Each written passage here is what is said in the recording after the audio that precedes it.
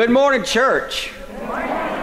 Well, for those of you who do not know me, my name is Mike Fitzgerald. My wife Gwen is here this morning, and uh, we are glad and grateful to begin a time of being with you. And uh, my name is not Mr. Fitzgerald, that's my dad. Um, my name is Mike, Pastor Mike, whatever you'd like to call me, but I am so thankful, thrilled to be with you, looking forward to our months that we're going to be together. Uh, Jessica has given me a little bit of instruction this morning to kind of get me in line. Choir, that was gorgeous. That was gorgeous. Uh, I love a great choir, and that was beautiful. So, I'm going to give you a few announcements this morning. If you want to look with me in your bulletin, just let me give you a few, reminding you of some things. First of all, shoe boxes. Uh, the deadline is coming up. It is next Sunday, November 13th. So, if you don't have your shoe box in to go somewhere around the world to a child, uh, who can learn about the love of Christ, uh, get that shoebox in uh, by next Sunday. So that means if you haven't picked one up yet, they're still available. You can still pack it up this week and get it in by next week. Uh, also, uh, deadline for poinsettias is uh, next Sunday, November 13th. Uh, so if you have not ordered a poinsettia for the Christmas season, uh, please do that by next week. Coats for Kids coming up. Deadline is November 20th. Uh, and one more here. I love this. Of course, uh, for many of you, I think most of you know, I was pastor of Clifford Baptist Church for 40 years. And so a lot of these announcements look exactly like the announcements that I have made for all of these years. Lottie Moon Post Office. We did that for years as well. Uh, your post office is going to be officially open on Sunday, November 20th. So uh, you can raise some funds for Lottie Moon by sending Christmas cards to one another. What a great thing. Uh, also, in your bulletin, you will notice there is an enclosure. Please don't lose it. That's an updated family list for deacon ministry, so you learn your family's connection with a particular deacon, and uh, I think that's a great uh, program for deacons. Deacons, thank you for doing that uh, as you are reaching out to families within your church. So, this is an updated list. Uh, and also, one more announcement, and that's coming from April this morning. So, April, all yours.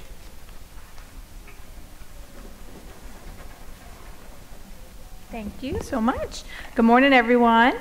Um, I have two announcements this morning. Um, first one is we have we are so blessed and so thankful. We were just talking to Pastor Mike as he was getting to know the kids and kind of meeting everyone up front.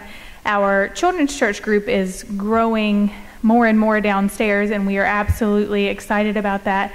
Um, just a reminder: the age group is kindergarten through fifth grade.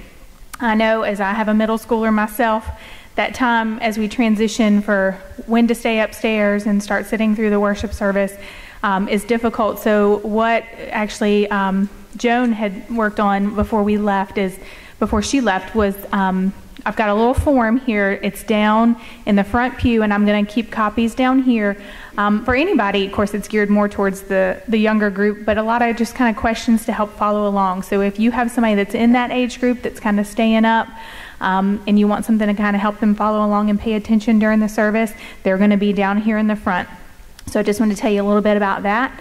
Um, also, I am working on our nursery schedule for 2023. So if you are on the nursery schedule, I'm not going to come ask you if you want to stay on it you got to come tell me you want to come off of it. so, um, if and all joking aside, if if you're not able to serve, I know I've talked to some people about it um, and kind of switching some things around, and I've made notes for that.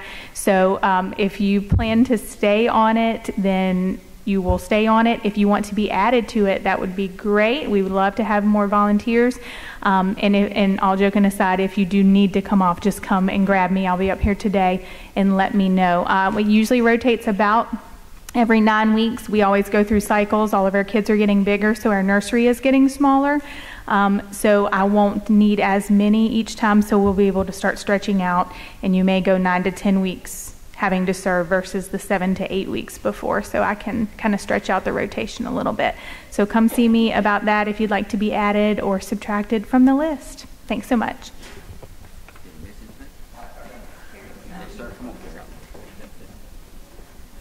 Another good morning to you. First of all, I got a real praise. Last Sunday we announced we had 44 people in our morning Bible study, also called Sunday School. Saw a 30% increase this week up to 57. Yes, Hallelujah. Now, I think another 30% increase will take us about 72 next week. and there's more than 72 sitting in here now. So start at 9:30.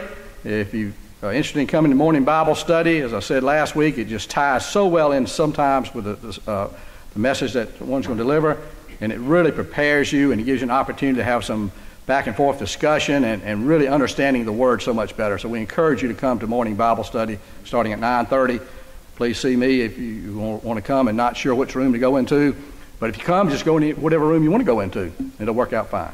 Second thing, another deadline. I've asked the section heads to turn in their budget request two weeks from today. Uh, by the 20th, I believe that is. Uh, turn that in to me. The Finance Committee will meet on the 22nd and then we'll prepare uh, adjusting the 2023 budget uh, for the next business meeting in December. So again, if you've got a request, if you want to spend some money, something you want to do for the Lord, let the section heads know. Certainly let me know if you wish, and we'll uh, do our best to integrate that into the next year's budget. Thank you very much, and God bless.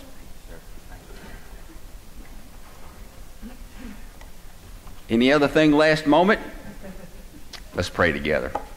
Our Father, our God, thank you that we are in your house today.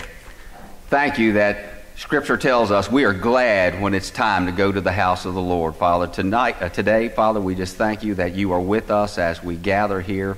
We thank you for your presence. We thank you that we worship Jesus Christ, the one who loves us, the one who gave his life that we might be saved and forgiven and given eternal life, Lord. We worship you. We thank you, Lord. If there's one person in this sanctuary who has never come to you, Father, today that invitation will be given.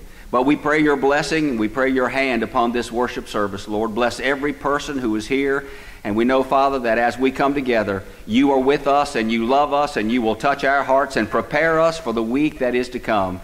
This moment in your house today, Lord, is our tithe of time before a new week begins.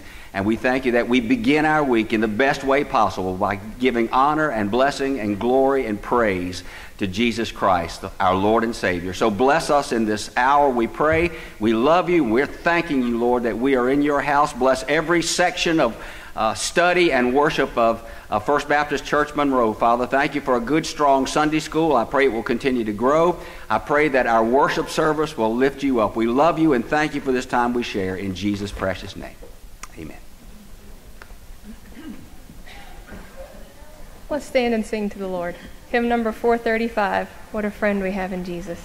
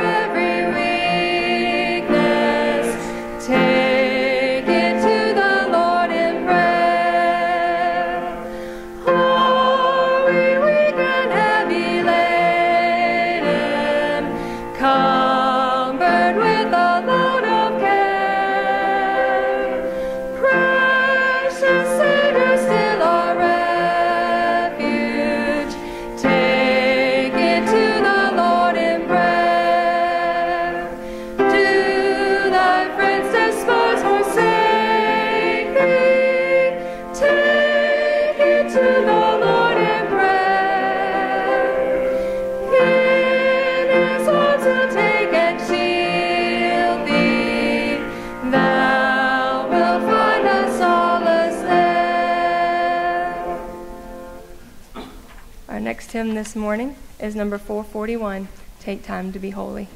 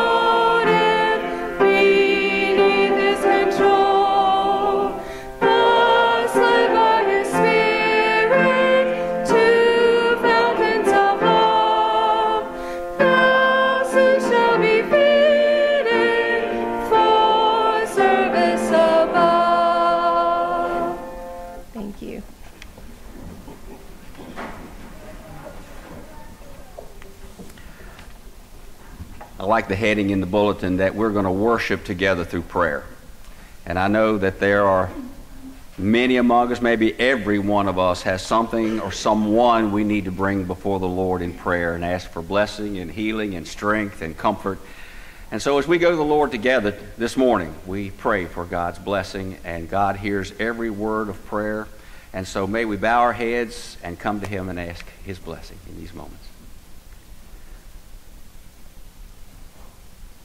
Our Lord, our God, as we approach your throne of grace on this Sunday morning, we come thanking you, Lord, that this is our time to gather before you with heads bowed and with spirits that are contrite before you and asking for your blessing and your grace and your will to be done in our lives, in the life of this church family, Lord. And we come before you, Lord, asking for your presence in all that we do and every step that we take in this week to come. Father, we pray that you will be walking with us. Thank you, Lord, that this hymn, I was struck by the words. I've sung it so many times, and yet the words struck me this morning. Take time to be holy. The world rushes on. How true that is. The world just rushes by us, Lord, and we get involved in things of the world. We have to because we live here.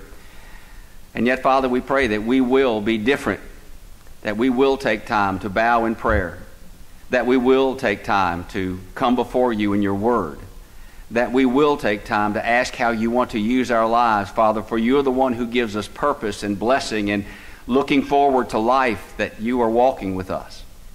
And so today, Father, thank you for this moment that we're taking time to be holy that we're taking time before your throne of grace. We're taking time to recognize the one who gives us life and who gives us direction. The world rushes on, and when we walk out of these front doors, we will get into that rush again. But I pray, Father, that we will always take time to give to you. Father, we take time this morning to lift before you our prayer needs, our prayer concerns. And I'm sure before me and behind me that there are many concerns, Father. May we just take a moment of silence that we might individually lift our concern to you. If it's a person in our life or something we're going through, hear our prayer in this moment.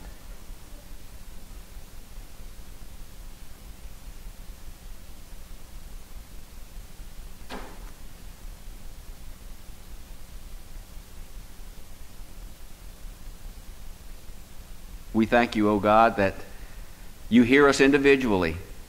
And we thank you that you hear us collectively that we might follow you, that we might experience the healing that only you can give as the good shepherd and the great physician. And so this morning, Lord, we just give these moments to you as we take time to be holy, as we take time to just bow before you and ask for your blessing now. Thank you for this church family, Lord. Thank you that Gwen and I can be a part of the church family here, Lord. And we want to be a part, we want to be a, a, just a, part of the family in these months to come, Lord, that we might be a, a help, that we might be a prayer support, that we might be fellow ministers together. And so, Father, thank you in this first morning that we share. I'm so thankful, and Gwen is too, that we might be here and that we might worship you together through Jesus Christ our Lord. Father, use us, speak to us, lead someone to Jesus through us in this week to come. We give this morning to you, and we thank you for it, Lord. In Jesus' precious name we pray. Amen.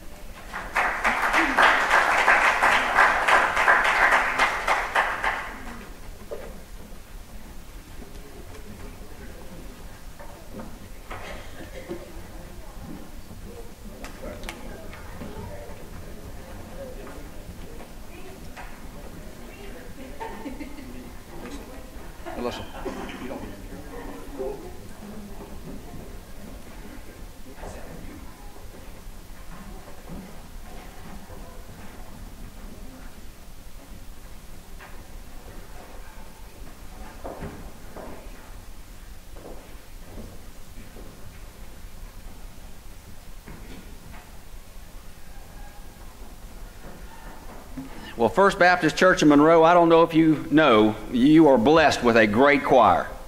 Uh, what a wonderful choir. What beautiful music. So I'm so glad again to be with you. Gwen and I are so happy that we can share some time, some months with you. Uh, let me give you a little news from the home front. Uh, she and I became grandparents for the third time uh, just two days ago. There we go. Uh, our son and his wife uh, have two little boys. They are four and five years old right now. Oh, I'm sorry, three and five. Got corrected from the pew back there. three and five years old, two little boys, and they're quite a handful. And now we have a little girl. Uh, her name is Sadie Virginia. She, jo- she joins Noah and James. Uh, so I've gotten really good at spoiling boys. So now I got to relearn how to spoil a little girl. I think it'll come quite naturally to me. Don't think I'll have any problem with that. But we're happy for that news from the home front. Uh, and I am so very grateful and thankful that the Lord led us together, that I can share some time and some ministry with you. And we want to be a part of the family. We want to be a part of the ministry here. I look forward to that. Uh, and I've had a long, long relationship uh, with First Baptist Church in Monroe. I've known many of your pastors along the way. Uh, I've, I've, known Reverend Rockwell over the years, uh, Charles Anderson. I've known Charles. He and I did some weddings and sadly a couple of funerals together. Uh, and I was able to visit with him in his home uh, shortly before he went to heaven. And so I'll remember that visit always. Uh, Glenn Coleman. Glenn and I have been friends for a long, long time, well past 25 years. Uh, and I sure love him, and I am so grateful for his ministry here. And he has certainly led this church in the ways of the Lord over the years, and I'm very thankful for my relationship with him. Uh, one of the things I have to tell you some years ago, some of you may remember this, but some years ago, Glenn invited me to come and preach a night of revival here. And I had to call him earlier that day and said, Glenn, I have laryngitis and I can barely squeak. I can talk, but it's really not very pleasant. Uh, he said, You know, well, you just come right on. You know, Glenn, you come right on. So, so I came that night right here. Uh, I was ready to preach. And so before I preached, I said, Glenn, since my voice is so weak, why don't you read the scripture for the night? And then I will preach the sermon. He said, fine. So he read the scripture in that beautiful, bassy, resonant Jim Reeves voice, if you're an old country music fan. Uh, he read that scripture so beautiful. And then I got up with this little squeak of a voice and preached the rest of the sermon. But I, it scarred me after hearing him read that scripture. I love Glenn. I've also come to know Brian and Joan Claybo so well and their little one. And we pray God's blessing and leading on them as they step out into the future as to God uh, st- sets the path for them in these days that are ahead. But I am excited about sharing the next months with you. Grateful that you invite me and allow me to stand in this sacred place. I do not take that lightly that you have invited me to this very sacred place uh, behind this pulpit. Uh, and it is a great, a great place of honor, but also a great place of responsibility. And I know that as we open God's Word together, we want to be truthful in the way that we share it together and the way that we hear His truth revealed to us. Uh, and as you begin your search for your next pastor, I know it's a rather daunting process, but God has already chosen that man. He has already chosen in the heart and in the mind of God. And so our prayer today is that, Lord, you will lead us to that person that you have already chosen for us. And what's so interesting is somewhere on the other end of the spectrum, there is a man somewhere in this world that is praying, Lord, lead me to my next church, lead me to my next step of ministry. And so our prayer together is that we will be faithful that those two paths will cross in God's timing, in God's will, in God's blessing. So just remember this morning, the Lord already has the plan. He already knows what's going to happen. And we just want to follow His timing. We want to follow His will, follow His blessing in that. And the reason He allows us time between these uh, times, these days that we're waiting for that pastor to come, is so that we will grow in prayer and so that we will grow in faith and in faithfulness to follow Him in all things. He asks us sometime to wait. In fact, that's kind of the key to the sermon today. He asks us sometime to wait and to follow Him. I know it's a, great journey for the church yet ahead, but we know the Lord is going to grow you, me, and us together. He's going to grow that pastor that is yet to come. God is strengthening this church for your future, for days ahead, for ministry ahead, for people to be saved who are yet in the future. He always has the plan. We just need to follow Him. And that's where we commit our lives to Him today. Now, I'm going to start us in a sermon series. I only have three Sundays before Christmas and Advent begin. Uh, but I'm going to start us in this sermon series and then pick it up at the first of the year. So I can't finish it in three Sundays. That is absolutely for sure. But we're going to walk through the book of Philippians together. There's a reason that I want us to travel the book of Philippians. I've chosen this for a sermon series because I believe this was Paul's favorite church. Paul loved this church, and it is church at its best. And I think it's always good for us to see how the Bible instructs us as church to live our lives and to conduct our ministries. And so we're going to study the book of Philippians together. It's going to take quite a few Sundays, but we will walk through it step by step and verse by verse. Uh, now, the Philippian church was not a perfect church. In fact, in the fourth chapter, you will find that there are two women, Euodias and Syntyche, who had some dispute amongst one another. Wasn't a perfect church, had some things going on that needed to be ironed out. But since the first century, when the church was born, there's never been a perfect church. You know why? There's too many human beings in churches. And we know that we need to seek the Lord's guidance, forgiveness, grace, and blessing as we follow Him as the church. Because we need His leadership. We need His guidance. We need His blessing as we follow Him. But the church in Philippi was a church in ministry. It was a church that made a mark on the world. And I believe that's one of the healthy reasons that we need to study this church in Philippi. We're going to study these three Sundays, move into the Advent Christmas season, come back to Philippians after the first of the year. So, actually, today, we're not going to even begin in the book of Philippians as we open Scripture. I want you to take your Bible, turn with me to the history book of your New Testament, the book of Acts. I want you to go there. I want you to go to chapter 16 in the book of Acts. If you don't have a Bible today, bring on one with you in Sundays to come. But go to Acts chapter 16 in your New Testament. If you've studied Paul, you know that he was arguably the greatest missionary and man of God of all time. It's interesting about his history. He at first was a staunch Jew who killed Christians and wanted to stamp out the church and any mark of Jesus Christ on the world.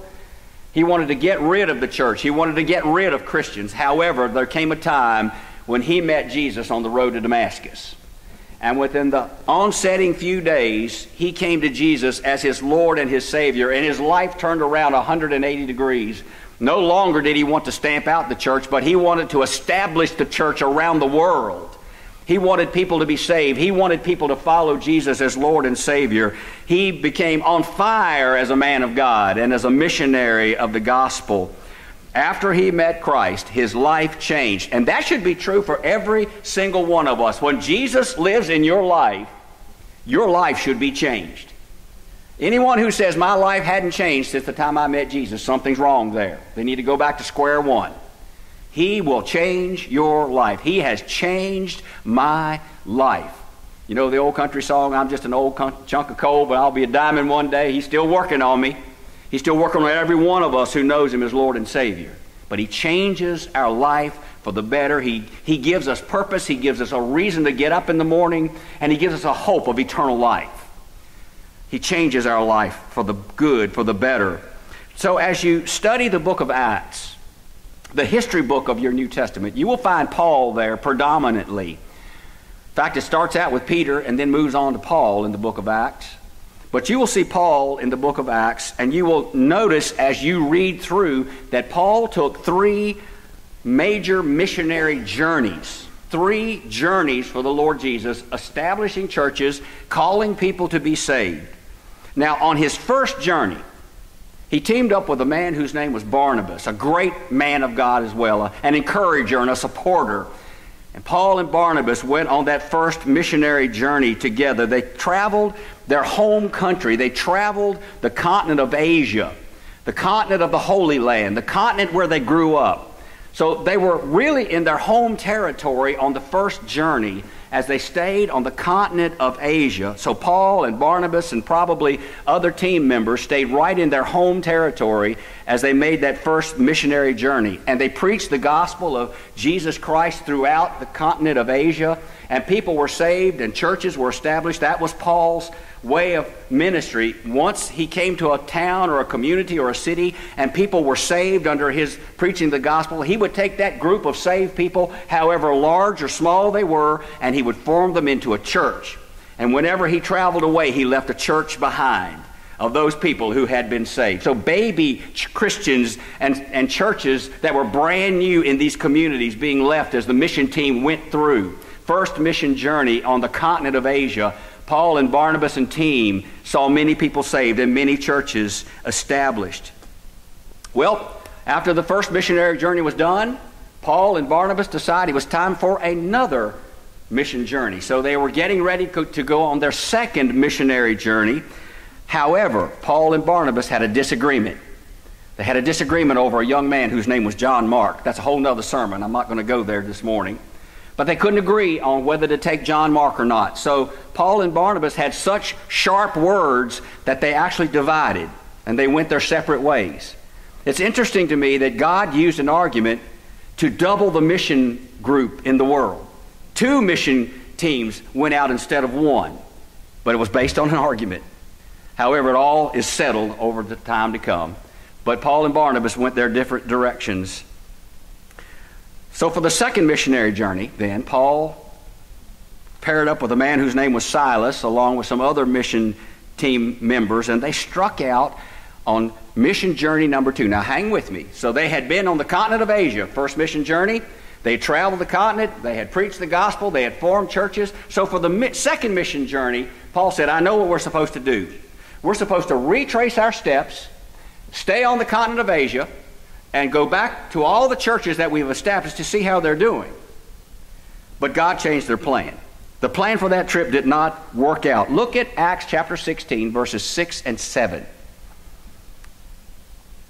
By the way, I have used the King James throughout my ministry. Sometimes I may uh, use another version, but I, I hang, you use the version you're comfortable with. That's fine, but uh, I'll, I'll use this in the pulpit probably most of the time because it's the one I've used all of my ministry. So, Acts chapter 16, look at verse 6. Now, when they had gone throughout Phrygia and the region of Galatia and were forbidden of the Holy Ghost to preach the word in Asia, after they were come to Mysia, they essayed to go into Bithynia, but the Spirit suffered them not. Okay, so here they are getting ready to go on their second big missionary journey. They were going to travel throughout Asia once again, touch base with all of those churches, but God said no. First of all, Paul thought, okay, well, here's what I'm going to do. Well, our mission team is going to start out and we're going to go south. We're going to go to Galatia and see all of those churches that have been established there. And Scripture says God said no. You cannot go south. So Paul said, okay, well, if that's the case, then if God says don't go south, then I guess we're supposed to go north toward Bithynia. And so as they prepared to go north, God said, I don't want you going north. So, so God had given them a dilemma. When they had decided to go south, God said no. When they decided to go north, God said no. So Paul said, Where were we supposed to go?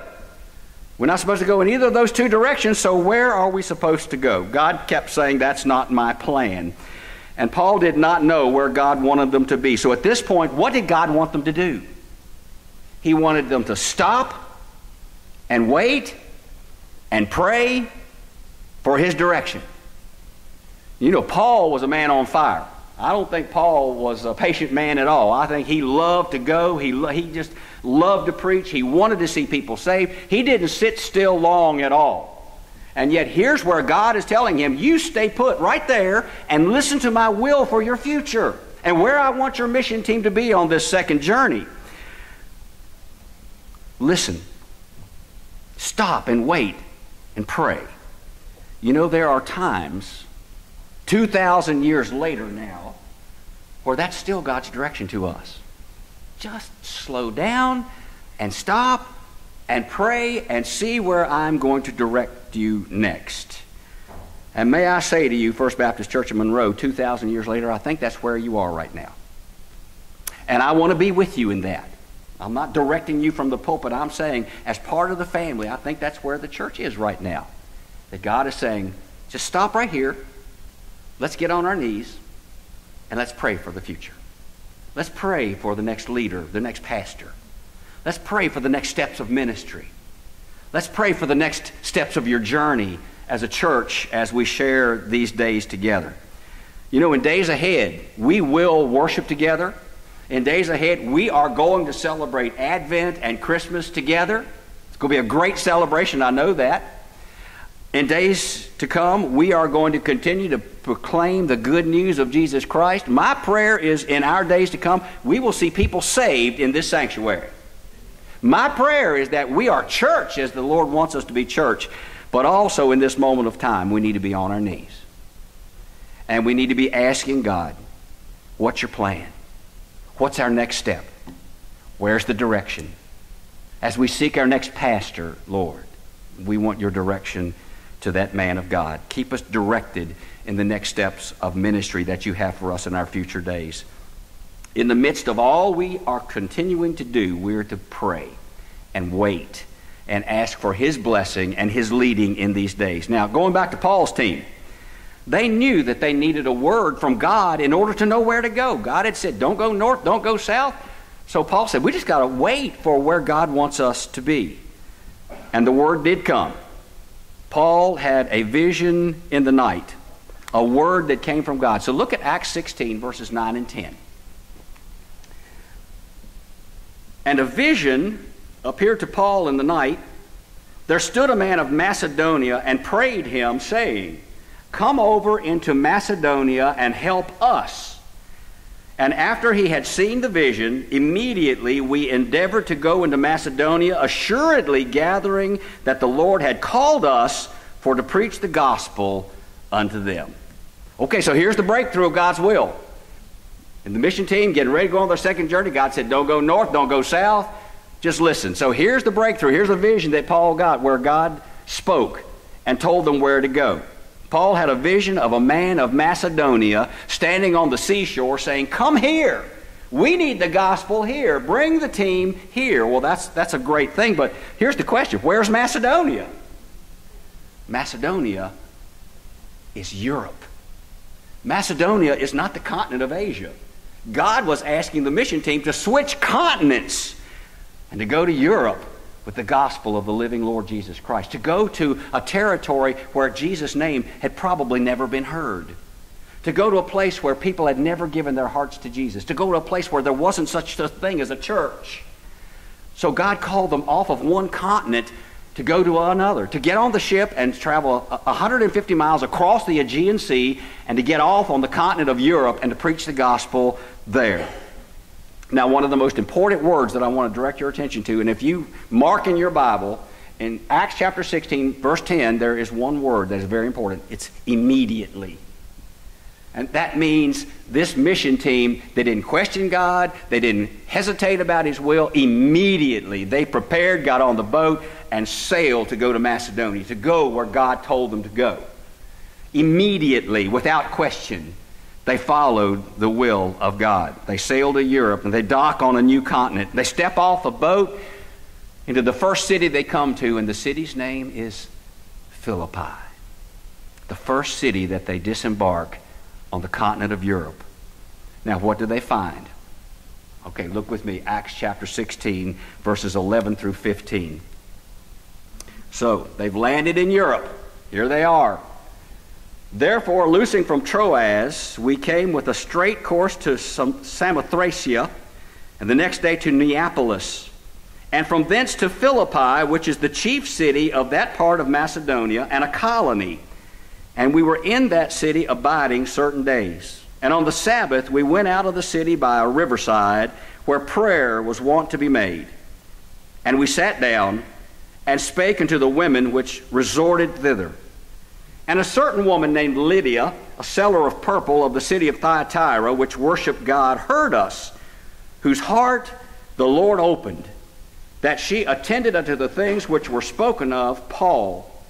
And when she was baptized and her household, she besought us, saying, If ye have judged me to be faithful to the Lord, come into my house and abide there. And she constrained us. Okay, so here's the breakthrough. When the team gets to Europe, they find a woman's prayer meeting. Wouldn't you know, the first group they find is the WMU. Always there first. Prayer meeting, led by a wealthy woman whose name was Lydia.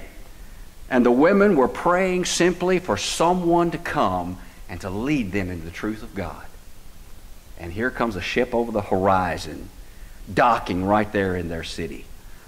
And as Paul and his team speak about Jesus Christ, Lydia is saved, and then she goes to her whole, her whole home, her whole household, and all of her household is saved and baptized in the Lord Jesus Christ. And as a result of that prayer meeting right there in Philippi, with the Lydian family being saved, many others gave their heart to Jesus Christ, and a church was born in the city of Philippi. And that little band of new Christians became the very first church on the continent of Europe. Isn't it amazing how God moved a mission team from home country to foreign missions.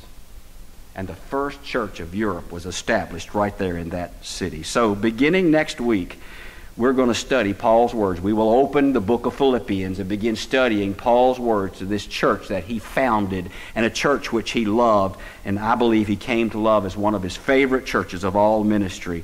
But as we close today with that church being established on a brand new continent, looking at Scripture about a church 2,000 years ago, I want to plant two seeds in your heart as we close today.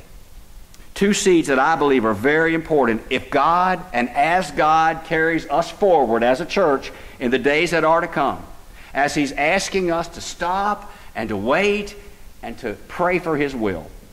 Here are two seeds I want to plant in your heart. Seed number one Will you personally and it doesn't matter if you are not a teenager yet, or your teen years, or in your 20s, or on through senior years like I am now. So I, I can't hardly say that, but I know it's true. No matter what your age is, will you pray every day for your church? Every day will you pray for your church? Every day will you pray for your pulpit committee?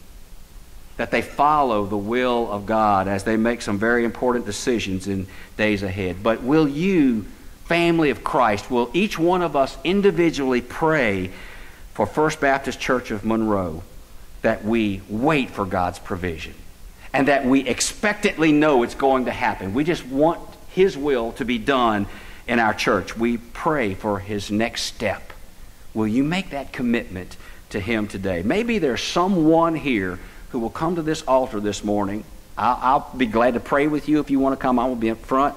But if you just want to come physically to this altar and begin that commitment of prayer and just say, Lord, I'm laying your church at the altar here and asking for your blessing, and this is my commitment that I'm going to pray for your church every single day. Now, I'm not going to twist your arm. We're not going to sing 43 verses of Just As I Am to get you to this altar.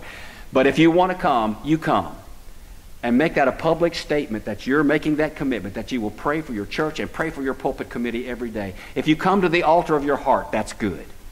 Just make that commitment, church, that we pray every single day for what God has in store for this church family. You know, I, I attended a state Baptist meeting many years ago, and the guest for that meeting was the Christian comedian Jerry Clower. You remember Jerry Clower? Shoot up here amongst us. One of us has got to have some relief. Well, as he went through all of his comedy and all the funny things that he had to say, and he was hilarious that night, I'll have to say. When he finished up all of his funny stories, he said this, and I'll never forget it. He said, Folks, before I leave you tonight, you know, he had this big voice, booming voice. Folks, I want to leave you tonight with two words. These are the most important words that I can bring you. Out of everything I've done tonight, here are the two words that I want to leave you with, and I want you to remember them, and I want you to act on them every single day. Here they are Prayer works. And he said it so loud that it just resounded in the rafters. Prayer works.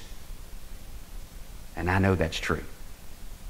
When we call on the God of heaven, the God who loves us, the God who established this church, the God who leads us day by day, we know that prayer works. Will you pray every day? Here's the second little seed that I plant in your heart this morning. The church at Philippi really had humble beginnings. A group of women in a prayer meeting. And a few of them were saved, and then others were saved, like a Philippian jailer. All along the way, there were others saved. But that little humble church became the greatest church of Europe, the first church of Europe. Thousands upon thousands, perhaps millions of Europeans have been saved in 2,000 years, and it all harkens back to that mother church in Philippi, where it began on that continent. God used that little church in, a, in a, an amazing way, and God can use this congregation as a beacon for the Lord Jesus Christ. I can tell you, driving from Clifford, especially to the hospital and nursing homes in Lynchburg, I have passed this church literally thousands of times in 40 years. And so many times that I have passed First Baptist Church, and as I said, I've, I've had many uh, relationships with folks here and with your pastors here. I looked up on this hill and thought, what a great place for a church to be. Sandwiched here, you know, south of Amherst and, and, and going on into Lynchburg. What a great place for a church to be right here on Route 29. I got to tell you, folks, you have a great place for a church to be. And I know that you want to be that beacon that shines the love and the life of Jesus Christ. And I believe that we can touch an entire community with the love of Christ from this place. I know you have in days past. And I know God has used you effectively in so many ways, but He also has a future for you. Beginning today forward, there's a future for you and for us. He has a great plan as you, you being a beacon for the Lord Jesus. Never undersell yourself as to what God can do with a church surrendered to Him, with a church that prays for His will. He is still a God of miracles. You know, it's really not about our strength. It's not about how smart we are. Not, it's not even about how deep Bible students we are. The truth is, it's all about how powerful our God is and what God can do when He puts His hand on a church body. And I believe that not only can this church change a community, but if He sees so fit, we can change the world for Him. Pray for the Lord to use this church to change this world, beginning right here in our little Jerusalem, this place that He has put this church. God bless you, First Baptist Church Monroe. The future is in His hands. And we pray for His will to be done. Amen. Now, before I close this sermon, you're going to hear this every sermon I preach. I promise you. In fact, when I do weddings, I include this. When I do funerals, I include this. If you don't know Jesus as your Lord and your Savior, I want you to know how deeply He loves you. He loves you so much that He went to the cross and He laid down His life and He shed His blood that you and I might be forgiven of sin. And the Bible says in Romans 3:23 that all of us sin and all of us fall short of the glory of God. So even though I don't know you, I know you need him. So today, if you've never come to Jesus as your Lord and Savior, he has waited for you. And he's waiting for you this moment to say, Lord Jesus, I know I'm a sinner and I'm sorry. That's called repentance. I'm sorry for what I've done against you. And I come to you as my Savior and I ask you to forgive me. I ask you to walk with me. I ask you to change my life. I ask you to prepare me that home in heaven that you spoke about in John 14. I want to be yours. I want to be your son, your daughter today. I come to you as my Savior. This morning, if you don't know Him, this is your moment that you can say yes to Him. And if you come, He will not turn you away. That's the Bible's promise. God bless you in that. Church, God bless us as we follow his will in these days to come. Let's pray together. Now, Father our God, thank you for these precious moments that we share together. Thank you, Lord, for the honor of being invited to be a, a part of the church and to be at this pulpit, Lord. It's a very serious commitment, and it's also a, a very great joy. I pray that you will bless this church in amazing ways in these days ahead as we simply stop, wait, bow, and pray for your will to be done. We love you and we trust you. In Jesus' mighty name we pray. Amen. We're going to stand together and sing one final hymn, uh, which is Footsteps of Jesus. So let's stand. If there's a decision you want to make, something you want to make public, some need that you want the Lord to, to meet in your life, you come as we stand together, as we sing it.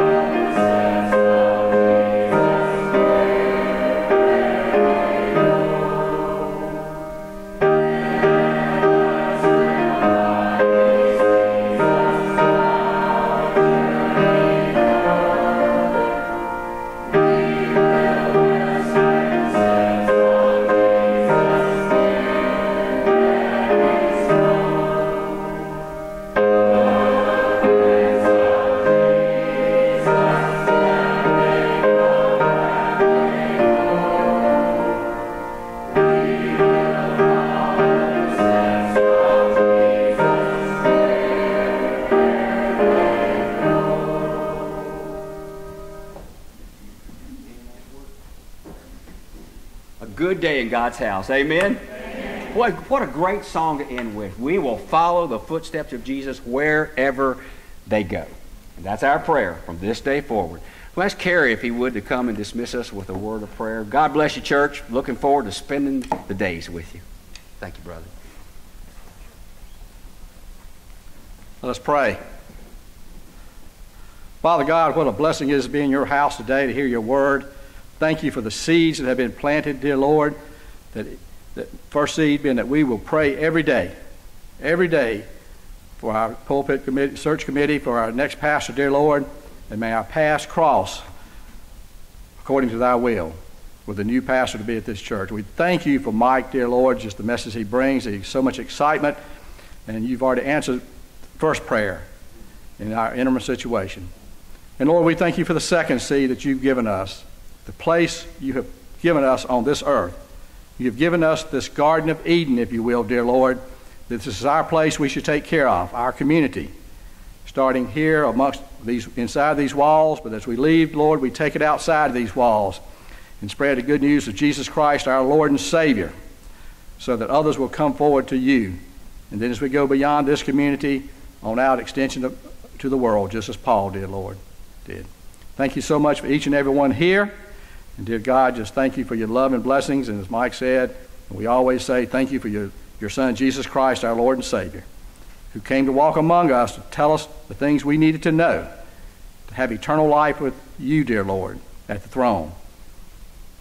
Thank you for the sacrifice of Him on the cross, dear God, so that our sins can be forgiven and we can have that eternal life with you. And thank you for the resurrection to show, dear Lord, that there's life everlasting in your home, dear Lord. Again, be with each one as we go here. Bless them. We, provide, we ask that you give them good health, dear Lord, and strength and courage to do what needs to be done to show that Jesus loves us. In His name I pray. Amen. God bless you.